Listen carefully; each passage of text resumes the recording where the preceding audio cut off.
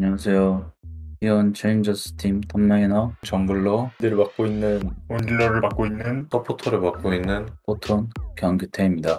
포레스트 이현서입니다. 폴란드 서상원이라고 합니다. 리거 김희주라고 합니다. 캐비 정상현이라고 합니다. top이시면 정글 차이 top 차이. 정글이 뭘 안 봐준 거 때문에 정글 차이인 것 같습니다. 정글 차이. 정글에 한번 왔다가 하면 약간 그, 그 라인에 엄청난 영향이 끼쳐가지고 제가 정글도 해보고 top도 해봤는데 보통 정글 차이였던 것 같아요. 정글의 영향이 좀 크지 않나. 저는 top 차이라고 생각합니다. top이 라인전을 잘 하고 있으면은 정글이 먼저 가지지 않을까요?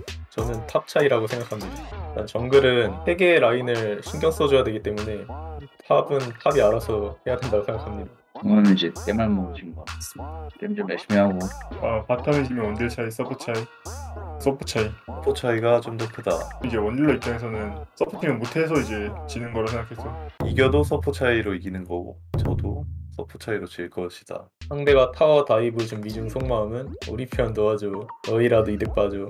저는 우리 편 도와줘를 1편 도와주는 우리 편 도와줘 이런. 우리 편 도와줘. 우리 편 도와줘가 더 좋은 것 같아요. 보통 dive 할 때는 그거 당하면 끝나는 경우가 많아서 라인전이.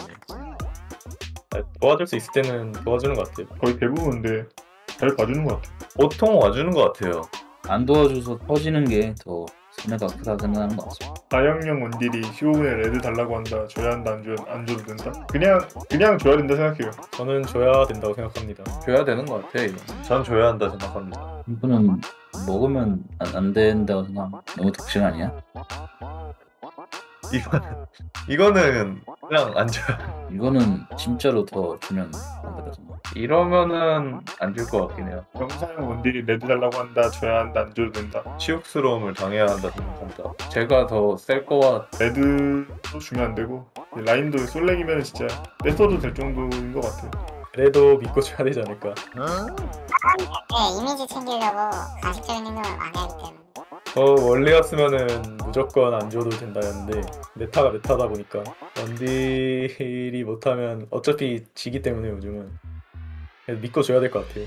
top은 탱커형, 딜러형. 음, 딜러를 하는 게 맞다 생각. 이게 참 아쉬운 건데 top한테 탱커를 요구하는 상황이 좀 안타까운 것 같아요. 탱커가 필요가 없어요. 저희 팀한테는 top이 그러면 딜러형이 더 어울리는 것 같긴 해요. 저는 그냥 딜러 형이 나은 것 같아요. 보통 이제 극딜 top은 무조건 탱커형이 mid가 탱커형을 해야 된다 생각. 예, mid가 오른 같은 거 좀 했으면. 형아 이번엔 너가 탱커 좀 하자. 원래는 딜러형 고를 것 같아요. 저는 무빙진에게 인터뷰 수업 받기, 신임에게 안마를 받기, 무빙진에게 인터뷰 수업 받기. 빙진에게 인터뷰 수업 받기 하겠습니다. 무빙진에게 인터뷰 수업 받기. 어, 무빙진 에게 인터뷰 수업 받기? 어 인터뷰 좀 더 자연스럽게 하고 싶어서 배우면 되게 좋다 생각해요. 코치님을 힘들게 하고 싶지 않기 때문에 네, 이미지 챙기려고 아직까지 받아온 적은 없는데 해준다고 해도 안 받을 것 같아요. 저희 T1 CL 이제 연습도 많이 하고 이제 준비 열심히 하고 있으니까 꼭 우승할 수 있도록 좋은 경기 보여드리겠습니다. T1 화이팅!